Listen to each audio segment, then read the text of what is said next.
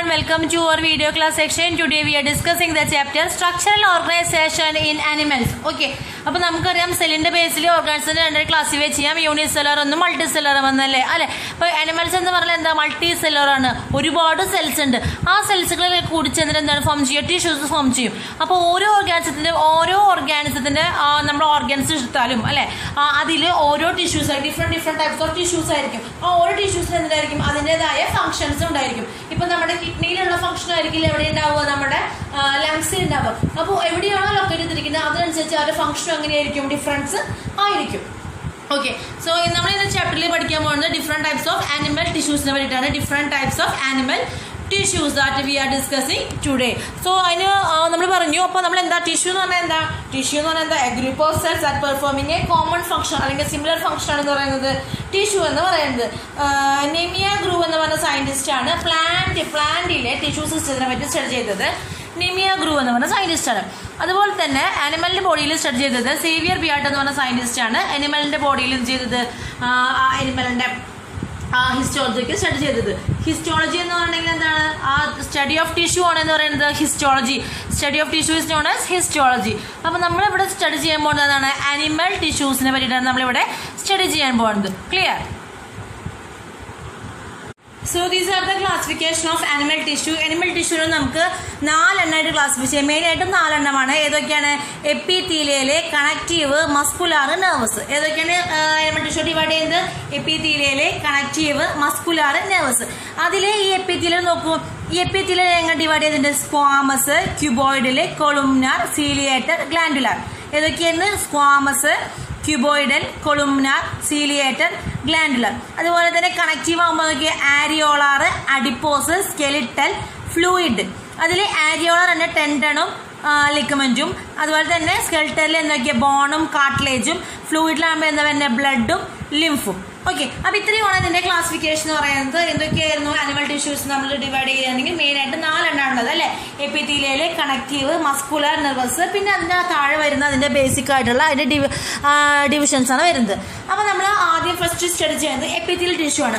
അപ്പൊ എപ്പിത്തീൽ ടിഷ്യൂ എന്ന് പറഞ്ഞിട്ടുണ്ടെങ്കിൽ അത് ഡിറൈവ് ചെയ്ത് വരുന്നത് അത് ഫോം ചെയ്ത് വരുന്നത് എവിടെ അതിന്റെ ഒറിജിൻ എന്ന് പറയുന്നത് എവിടെയാണ്? എൻഡോഡം എക്ടോഡം മീസോഡം ഇത് മൂന്നിൽ നിന്നും എന്ത് വരെ എപ്പിത്തൽ ടിഷ്യൂ ഫോം ചെയ്യാം. അതിന് ഫംഗ്ഷൻ എന്ന് പറഞ്ഞാൽ എന്താ? പ്രൊട്ടക്ഷൻ സെക്രീഷൻ അതുപോലെ തന്നെ ഫിൽട്രേഷൻ അബ്സോർഷനൊക്കെയാണ് എപ്പിത്തൽ ടിഷ്യൂവിന്റെ ഫംഗ്ഷൻ എന്ന് പറയുന്നത്. So epithelial tissue is arise from the endoderm ectoderm and mesoderm endo epithelial ടിഷ്യൂന്റെ function എന്ന് പറയുന്നത് protection secretion filtration and absorption are the functions of epithelial tissue next one എന്താ? Connective tissue ആ പേര് ചെന്ന് തന്നെ ഉണ്ട്. എന്ത്? കണക്ഷൻ നടത്തുക എന്നുള്ളത്. അല്ലെ? അപ്പൊ കണക്റ്റീവ് ടിഷ്യൂ എന്ന് പറഞ്ഞിട്ടുണ്ടെങ്കിൽ അതിന്റെ ഒറിജിൻ എന്ന് പറയുന്നത് മീസോഡാമിൻ ഒറിജിൻ ആണ്. അപ്പൊ അതിന്റെ ഫംഗ്ഷൻ എന്ന് പറയുന്നത് എന്താ? Attachment protection storage transport locomotion movement അതൊക്കെയാണ് എന്ത്? നമ്മളുടെ കാറ്റി ടിഷ്യൂസിന്റെ ഫംഗ്ഷൻ എന്ന് പറയുന്നത്. ക്ലിയർ ആണല്ലോ അല്ലെ? ഇനി മസിൽ ടിഷ്യൂ എന്ന് പറഞ്ഞിട്ടുണ്ടെങ്കിൽ ഫോം ചെയ്യുന്നത് നമ്മൾ മീസോഡമിൽ നിന്നാണ് അതിന്റെ ഫംഗ്ഷൻ എന്താ? ബോഡി മൂവ്മെന്റ് അല്ലേ? പിന്നെ ബ്ലഡിനെ മൂവ് ചെയ്യിക്കുക ഫുഡിനെ മൂവ് ചെയ്യിപ്പിക്കുക വേസ്റ്റ് മെറ്റീരിയൽ മൂവ് ചെയ്യിപ്പിക്കുക അതൊക്കെയാണ് ഒരു ഫംഗ്ഷൻ മസിൽ ടിഷ്യൂവിന്റെ ഫംഗ്ഷൻ എന്ന് പറയുന്നത്. ഇനി ന്യൂറൽ ടിഷ്യൂ എന്ന് പറയുന്നത് ഫോം ഫ്രം ദ എക്ടോഡം അപ്പൊ കണ്ടക്ഷൻ ഓഫ് നെർവും പൾസ് അതുപോലെ തന്നെ control the activities of the organisms അതൊക്കെയാണ് എന്ത്? ന്യൂറൽ ടിഷ്യൂവിന്റെ ഫംഗ്ഷൻസ് സോ ഹ്യൂമൻ ബോഡിയിൽ മെയിൻ ആയിട്ട് നാല് ടിഷ്യൂ ഉള്ളത്. Epithelial tissue connective tissue muscular tissue അല്ലെങ്കിൽ മസ്കുലർ ടിഷ്യൂ എന്ന് പറയും. അതുപോലെ തന്നെ ന്യൂറൽ ടിഷ്യൂ അതിൽ എപ്പിത്തൽ ടിഷ്യൂ അറൈസ് ചെയ്യുന്നത് മൂന്ന് ലെയേഴ്സ് എക്ടോഡയം എൻഡോഡയം മീസോടെയും എന്ന് പറഞ്ഞാൽ മൂന്ന് ലെയേഴ്സ് ആരെ ഫോം ചെയ്യുന്നുണ്ട്? എപ്പിത്തൽ ടിഷ്യൂ ഫോം ചെയ്യുന്നുണ്ട്. പക്ഷെ കണക്റ്റീവ് ടിഷ്യൂ ഫോം ചെയ്യുന്നത് എവിടെ നിന്നാണ്? മീസോഡേമിൽ നിന്നാണ്. അതുപോലെ തന്നെ മസ്കുലർ ടിഷ്യൂ ഫോം ചെയ്യുന്നത് എവിടെ നിന്നാണ്? മീസോഡേമിൽ നിന്നാണ്. ഇനി ന്യൂറൽ ടിഷ്യൂ ഫോം ചെയ്യുന്നത് എവിടെ നിന്നാണ്? എക്ടോഡേമിൽ നിന്നാണ്. ഓരോ ടിഷ്യൂസിനും അവരുടെ അവരുടേതായ എന്ത് ഫംഗ്ഷൻസ് ഉണ്ട്? എപ്പിത്തൽ ടിഷ്യൂവിന്റെ മെയിൻ ഫംഗ്ഷൻ എന്നത് പ്രൊട്ടക്ഷൻ ആണെങ്കിൽ കണക്റ്റീവ് ടിഷ്യൂവിന്റെ മെയിൻ ഫംഗ്ഷൻ എന്ന് പറയുന്നത് എന്താണ്? അറ്റാച്ച്മെന്റ് അല്ലെങ്കിൽ സപ്പോർട്ടാണ് മസിൽ ടിഷ്യൂവിന്റെ മസ്കുലർ കൺട്രാക്ഷൻ ഹെൽപ്പ് ചെയ്യുക. ന്യൂറൽ ടിഷ്യൂ എന്ന് പറയുന്നത് ഹെൽപ്പ് ചെയ്യുക. ആ നെർവ് ഇമ്പൾസ് ഒക്കെ കണ്ടക്ട് ചെയ്യാൻ വേണ്ടിയിട്ട്. Okay so first here we are discussing epithelial tissue okay അപ്പൊ എപ്പിത്തീലിയൽ ടിഷ്യൂ എന്ന് വെച്ചിട്ടുണ്ടെങ്കിൽ മെയിൻ ആയിട്ട് ക്യാരക്ടറിസ്റ്റിക്സ് പറയുമ്പോൾ എങ്ങനെയാണ്? Made of variously shaped cells ഉണ്ട്. ഡിവൈഡ് ഓഫ് ബ്ലഡ് വെസൽസ് അതിൽ എന്തില്ല? ബ്ലഡ് വെസൽസ് ഇല്ല. Obtain nutrients from the tissue underneath അതിന് താഴെ ടിഷ്യൂസ് ആണ് എന്ത് കിട്ടുക? ന്യൂട്രിയൻസ് ലഭിക്കുന്നത്. Very good power of repair or regeneration after an injury very good power of repair or regeneration after an injury ഇനി അപ്പൊ ഇതാണ് എന്ത് എപ്പിത്തിന്റെ ക്യാരക്ടറിസ്റ്റിക്സ് എന്ന് പറയുന്നത്. ഏതൊക്കെയായിരുന്നു? Made of variously shaped cells devoid of blood vessels obtain nourishment from the tissue underneath very good power എന്തിനാണ്? റീപെയറും അതുപോലെ തന്നെ റീജനറേഷനും വളരെയധികം കപ്പാസിറ്റി ഉണ്ട് ആർക്ക്? എപ്പിറ്റീരിയൽ ടിഷ്യൂസിന് അപ്പോൾ ഇതിന്റെ ഫംഗ്ഷൻ എന്ന് പറഞ്ഞാൽ എന്താ? പ്രൊവൈഡ് സ്പെഷ്യലൈസ്ഡ് സെക്രീഷ്യൻസ് അല്ലെ? അതായത് നമ്മളുടെ ഉം, ആ വിയർ ടിയർ ഇഞ്ചുറി ഒക്കെ ഉണ്ടാകുമ്പോഴാണ് എന്ത് മെയിനായിട്ട് വർക്കിംഗ് വരുന്നത്. അപ്പോൾ എന്താണ് പ്രൊവൈഡ് ഫിസിക്കൽ പ്രൊട്ടക്ഷൻ കൊടുക്കുക പിന്നെ സ്പെഷ്യലൈസ് സെക്രീഷൻ കൊടുക്കുക. അങ്ങനെ സെക്രീഷൻ കൊടുക്കുക എന്തിനാണ്? നമ്മുടെ ബോഡീനെ പ്രൊട്ടക്ട് ചെയ്യാൻ വേണ്ടിയിട്ട്. മാത്രമല്ല പെർമിയബിലിറ്റിനെ കൺട്രോൾ ചെയ്യുക. പിന്നെ പ്രൊവൈഡ് സെൻസേഷൻ സെൻസേഷൻ പ്രൊവൈഡ് ചെയ്യുക എന്ന് പറയുന്നത് ആളുടെ ഫംഗ്ഷനാണ് നമ്മുടെ എപ്പിത്തൽ ടിഷ്യൂസിന്റെ ഫംഗ്ഷനാണ് എന്തൊക്കെയാണ് നമ്മൾ പറഞ്ഞത് provide physical protection provide specialized secretions control permeability provide sensation ഇനി നമ്മളുടെ എപ്പിത്തീലിയം സെൽസ് വലിയ the cells of epithelium are closely packed and the intercellular cellular substances minimal. ഓരോ എപ്പിത്തീലിയൽ ടിഷ്യൂ വളരെ അടുത്തടുത്താവുക അറേഞ്ച് ചെയ്തിരിക്കുന്നുണ്ടാവും. ഓക്കെ അങ്ങനെ ആ അടുത്തിരിക്കുന്ന സെല്ലുകൾ നമ്മൾ കമ്മ്യൂണിക്കേഷൻ നടത്തണ്ടേ? അപ്പൊ അതിന് വേണ്ടി ഹെൽപ്പ് ചെയ്യുന്ന പോർഷനാണ് അല്ലെങ്കിൽ neighbouring cells are held together by cell junctions okay അങ്ങനെ നമ്മുടെ ബോഡിയിലെ എപ്പിത്തൽ സെൽസിനിടയ്ക്ക് മൂന്ന് സെൽ ജംഗ്ഷൻസ് കാണാം. Tight junction adhering junction gap junction clear ആയോ? എപ്പിത്തീലിയൽ സെൽസിന്റെ അല്ലെങ്കിൽ ടിഷ്യൂസിന്റെ ഇടയിൽ കാണുന്ന സ്പേസിന് പറഞ്ഞ പേരെന്താണ്? സെൽ ജംഗ്ഷൻ എന്ന് പറഞ്ഞു. അത് മൂന്ന് തരത്തിലുണ്ട്. ടൈറ്റ് ജംഗ്ഷൻ അഡ്ഹറിംഗ് ജംഗ്ഷൻ അതുപോലെ തന്നെ എന്താണ്? ഗ്യാപ്പ് ജംഗ്ഷൻ ടൈറ്റ് ജംഗ്ഷൻ എന്ന് പറഞ്ഞാൽ എന്താ? ടൈറ്റ് അല്ലേ? ഹെൽപ്പ് ടു സ്റ്റോപ്പ് ലീക്കേജ് എന്തെങ്കിലും മെറ്റീരിയൽ ലീക്ക് ലീക്കേജ് പോകണമെങ്കിൽ അതിനെ സ്റ്റോപ്പ് ചെയ്യാനാണ് ആരെ? ടൈറ്റ് ജംഗ്ഷൻ എന്ന് പറയുന്നത്. അഡ്ഹറിംഗ് എന്ന് പറഞ്ഞ വാക്കിനടുത്ത് കൂട്ടിച്ചേർക്കുക. അപ്പോൾ എന്താ ചെയ്യുന്നത് സിമെന്റിങ് സെൽസ് ടുഗദർ സെല്ലുകൾ തമ്മിൽ അടുത്തടുത്ത് ഇരുത്താൻ വേണ്ടിയിട്ട് സഹായിക്കുന്നതാണ് ആരെ? അഡ്ഹറിംഗ് ജംഗ്ഷൻ എന്ന് പറയുന്നത്. ഇനി ഗ്യാപ് ജംഗ്ഷൻ ആണ്. സെൽ ടു സെൽ കമ്മ്യൂണിക്കേഷൻ അതായത് എന്തെങ്കിലും മെറ്റീരിയലോ മോളിക്യൂൾസോ ഒക്കെ ട്രാൻസ്ഫർ ചെയ്യാൻ വേണ്ടി ഹെൽപ്പ് ചെയ്യുന്ന ആരാണ്? ഗ്യാപ്പ് ജംഗ്ഷൻസ് അങ്ങനെ നമ്മുടെ എപ്പിത്തൽ സെൽസിനിടയ്ക്ക് മൂന്ന് ജംഗ്ഷൻസ് ഉണ്ട്. ടൈറ്റ് ജംഗ്ഷൻ എന്തിനാണ് ആ ലീക്കേജ് പ്രിവെന്റ് ചെയ്യാൻ വേണ്ടിയിട്ട്? അഡ്ഹറിംഗ് ജംഗ്ഷൻ പെർഫോം അതായത് എന്താണ്? Cementing cells together then gap junction അതെന്തിനു വേണ്ടിയിട്ടാണ്? കമ്മ്യൂണിക്കേഷൻ ബിറ്റ്വീൻ സെൽസുകൾ തമ്മിലുള്ള കമ്മ്യൂണിക്കേഷൻ മാത്രമല്ല മെറ്റീരിയൽസ് ഒക്കെ പാസ് ചെയ്യാൻ വേണ്ടിയാണ് എന്തിനു ഹെൽപ്പ് ചെയ്യുന്നത്? ഈ സെൽ ജംഗ്ഷൻസ് ഒക്കെ ഹെൽപ്പ് ചെയ്യുന്നത്. അപ്പോൾ നമ്മൾ ഇത്രയുമാണ് നമ്മുടെ എപ്പിറ്റിൽ ടിഷ്യൂസ് പറഞ്ഞു. ഇനി ഈ എപ്പിറ്റിൽ ടിഷ്യൂവിൽ ഡിഫറെന്റ് ടൈപ്സ് ഉള്ളത് പറഞ്ഞു അല്ലേ? അപ്പോൾ ഇതിന്റെ ഷേപ്പ് നോക്കിയിട്ടാണ് ഇപ്പൊ നോക്കി നോക്കൂ. ഇവിടെ നോക്കി നോക്കി ക്യൂബ് ഷേപ്പ് ആണെങ്കിൽ അത് cuboidal epithelium okay column like ആണെങ്കിൽ കൊളുമിനാർ എപ്പിത്തീലിയം ഇനി സീഡോ സ്ട്രാറ്റിഫൈഡും അതുപോലെ തന്നെ സ്ട്രാറ്റിഫൈഡ്. നമ്മുടെ സ്കിന്നിൽ കാണുന്നതാണ് എന്ത്? സ്ട്രാറ്റിഫൈഡും അതുപോലെ സീഡോ സ്ട്രാറ്റിഫൈഡ് എന്നൊക്കെ പറയുന്നത്. ആ അതിന് നോക്കി നോക്കാം. പിന്നെ സിമ്പിൾ ഇത് സിമ്പിളും ആവും അതുപോലെ തന്നെ കോമ്പൗണ്ട് ആവാം. സിമ്പിൾ എന്ന് പറഞ്ഞാൽ എന്താ നോക്കി? സിംഗിൾ ലെയർ ആണ് കാണണമെങ്കിൽ അതെന്താണ്? സിംഗിൾ ഒരുപാട് ലെയർ കാണണമെങ്കിൽ എന്തായിരിക്കും അത്? കോമ്പൗണ്ട് ആയിരിക്കും. അപ്പോൾ നമ്മൾ ഫസ്റ്റ് ഡിസ്കസ് ചെയ്യുന്നത് ഈ എപ്പിത്തൽ ടിഷ്യൂ രണ്ട് തരത്തിലുണ്ട്. Simple epithelium compound epithelium simple epithelium എന്ന് പറഞ്ഞാൽ എന്തായിരിക്കും? ഒറ്റ സെല്ല് ഒറ്റ ലെയർ ആണെങ്കിൽ വൺ ലെയർ തിക്ക് ആണെങ്കിൽ അതെന്താണ്? സിമ്പിൾ എപ്പിത്തീലിയം ഒന്നിലധികം ഉണ്ടെങ്കിൽ മെനി ലെയർ തിക്ക് ആണെങ്കിൽ എന്ന് വിളിച്ചു തന്നെ കോമ്പൗണ്ട് എപ്പിത്തീലിയം എന്ന് വിളിച്ചു. ഓക്കെ അപ്പൊ സിമ്പിൾ എപ്പിത്തീലിയത്തിലെ ആദ്യത്തെ തന്നെയാണ് simple squamous epithelium simple squamous epithelium അതെങ്ങനെയാണ്? തിന്നാണ് ഫ്ലാറ്റ് ആണ് ഡിസ്കോർഡൽ ആൻഡ് പോളിഗണൽ ആണ്. ഓക്കെ അതുകൊണ്ട് തന്നെ നമ്മളെ നമ്മളെ എന്താ പറയുക ടൈലൊക്കെ വിരിച്ചാൽ ഒരു പ്രതീതി ഉണ്ടാവില്ല? അതുകൊണ്ട് തന്നെ എന്ത് വിളിക്കാം? പേയ്മെന്റ് എപ്പിത്തീരിയം എന്ന് കൂടി വിളിക്കാം. ഓക്കെ ടൈൽ അറേഞ്ച് ചെയ്ത ഒരു ഒരു അറേഞ്ച്മെന്റ് കാരണം ഇതിന് നമുക്ക് എന്ത് വിളിക്കാം? പേയ്മെന്റ് എപ്പിത്തീരിയം പേയ്മെന്റ് എപ്പിത്തീരിയം എന്നും കൂടെ ഇതിനെ വിളിക്കും നമ്മൾ നമ്മുടെ സിമ്പിൾ സ്ക്വാമസ് എപ്പിത്തീരിയം അഥവാ എങ്ങനെയാണ്? തിന്നാണ് ഫ്ലാറ്റ് ആണ് ഡിസ്കോയിഡൽ ആണ് അതുപോലെ തന്നെ പോളിഗണലാണ് also known as pavement epithelium okay അപ്പോൾ ഇതിന്റെ ലൊക്കേഷൻ എന്ന് പറയുന്നത് നമ്മുടെ ഹാർട്ടിന്റെ lines blood vessels alveoli Bowman's capsule അവിടെയൊക്കെയാണ് ആര് കാണുക? ഈ സിമ്പിൾ സ്ക്വാമസ് എപ്പിത്തീലിയം കാണുക. ഫംഗ്ഷൻ എന്ന് പറഞ്ഞാൽ എന്താ? Allows passage of materials by diffusion and filtration secretes lubricating substances അപ്പോൾ അതൊക്കെയാണ് അതിന്റെ മെയിൻ ആയിട്ടുള്ള ഫംഗ്ഷൻസ് എങ്ങനെ ചെയ്യുക? ഡിഫ്യൂഷൻ വഴി ഫിൽട്രേഷൻ വഴി മെറ്റീരിയൽ പാസ് ചെയ്യിപ്പിക്കുക. മാത്രമല്ല ലൂബ്രിക്കേഷൻ ആവശ്യമായ മെറ്റീരിയൽസ് ഒക്കെ സെക്യൂരിറ്റി ചെയ്ത് കൊടുക്കുക എന്നുള്ളതാണ് അവരുടെ സിമ്പിൾ സ്ക്വാമസ് എപ്പിത്തീലത്തിന്റെ ഫംഗ്ഷൻ അടുത്ത നമ്മളുടെ സിമ്പിൾ ക്യൂബോയിഡൽ എപ്പിത്തീലിയമാണ് ഞാൻ പറഞ്ഞത് ക്യൂബോയിഡ് എന്ന് പറഞ്ഞാൽ അതിന്റെ ഷേപ്പ് എങ്ങനെയായിരിക്കും? ക്യൂബ് ലൈക്ക് സെൽസ് അല്ലെ?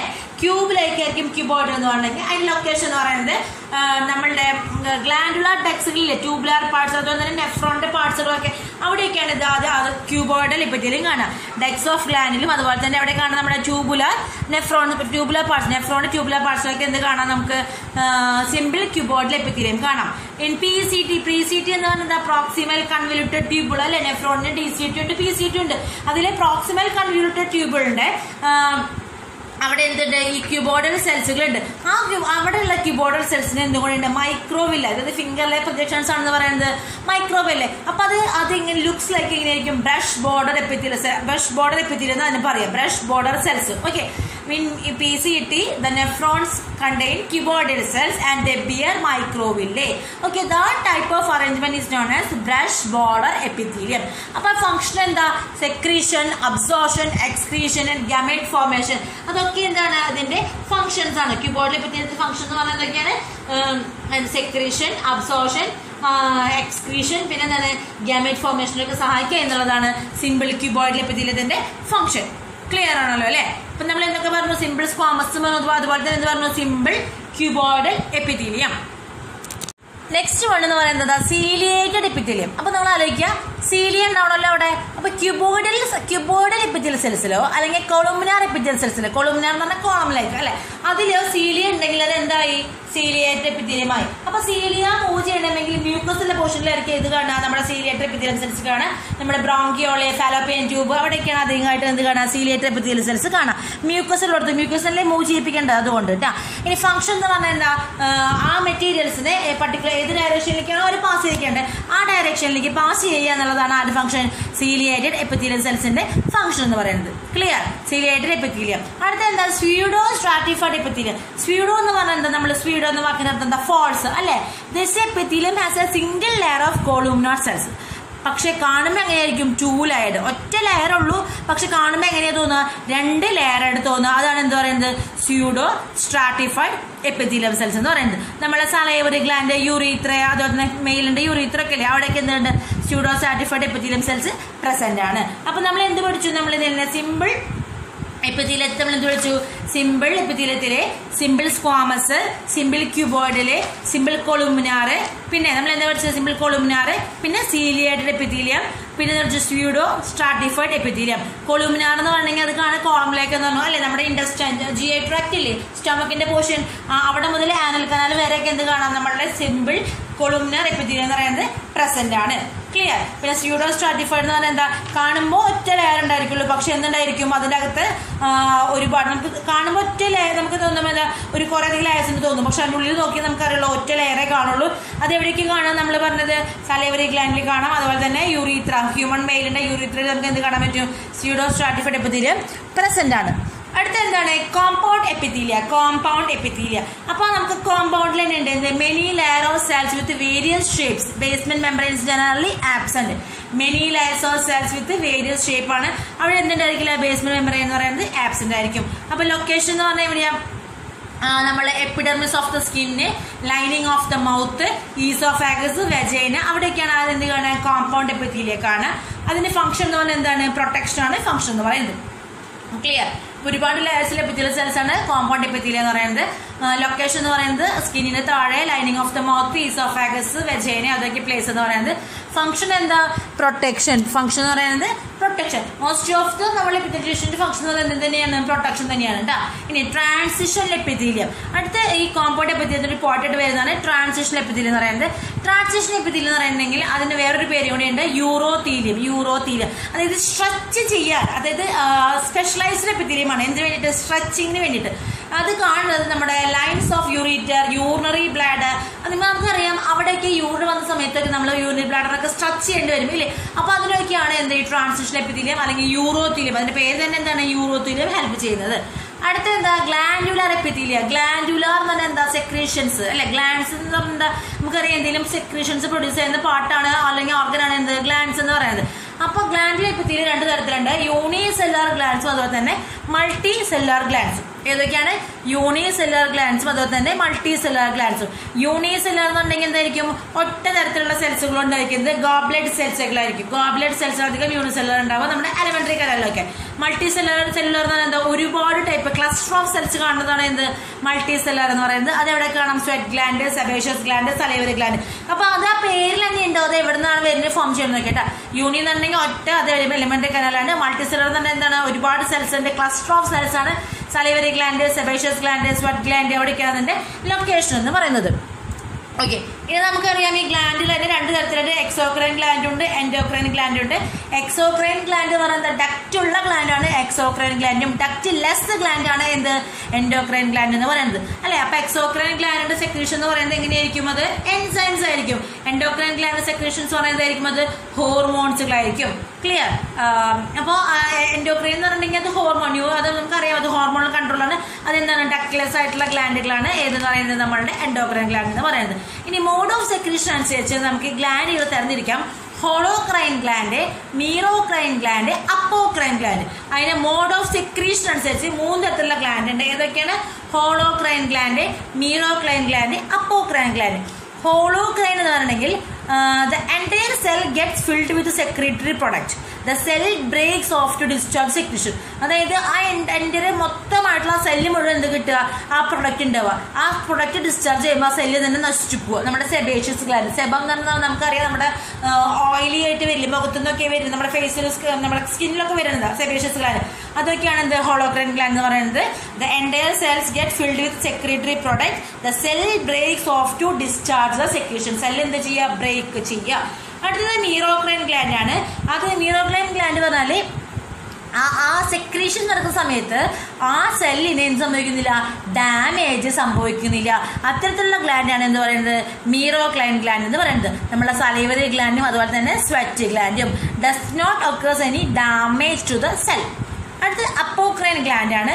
The secretory products are collected at apical structure of secreting cell this part break off releasing secretion അതായത് നമ്മുടെ മാമറി ഗ്ലാൻഡ് ഒക്കെ. മൊത്തം അത് സൂക്ഷിച്ചു വെക്കുന്നത് എവിടെയാണ്? അതിന് സെക്രീഷൻ സൂക്ഷിച്ചു വെക്കുന്നത് ആ ടിപ്പ് പോർഷനിലാണ് സൂക്ഷിച്ചു വെക്കുക. അതിന്റെ എപ്പിക്കിൽ ടിപ്പ് പോർഷനിൽ എന്നിട്ട് ആ ഭാഗം മാത്രം എന്ത് ചെയ്യുക? ബ്രേക്ക് ചെയ്യുക. എന്താ സെക്രീഷൻസ് പുറത്തേക്ക് വരിക. അതാണ് എന്താ പറയുന്നത്? അപ്പോക്രൈൻ എന്ന് പറയുന്നത്. അതിന്റെ എക്സാമ്പിൾ എന്ന് പറയുന്നത് നമ്മുടെ മാമറി ഗ്ലാൻഡ് ആണ്. അപ്പൊ ഇതാണ് മോഡ് ഓഫ് സെക്രീഷൻ അനുസരിച്ച് നമുക്ക് ആ ഗ്ലാൻഡ്സിനെ തരഞ്ഞിരിക്കാം holocrine gland merocrine gland apocrine gland holocrine എന്ന് പറഞ്ഞാൽ എന്താ ആ സെല്ല് തന്നെ ബ്രേക്ക് ആയി പോവാ. സെബേഷ്യസ് ഗ്ലാൻഡ് എക്സാമ്പിൾ മീറോക്രൈൻ എന്ന് പറഞ്ഞാൽ എന്താ സെക്യൂരിറ്റി പ്രൊഡക്റ്റ് മാത്രമേ പുറത്തേക്ക് വരുന്നില്ല പക്ഷേ ഗ്ലാൻഡിന് ആ സെല്ലുകൾക്ക് നാശം സംഭവിക്കുന്നില്ല.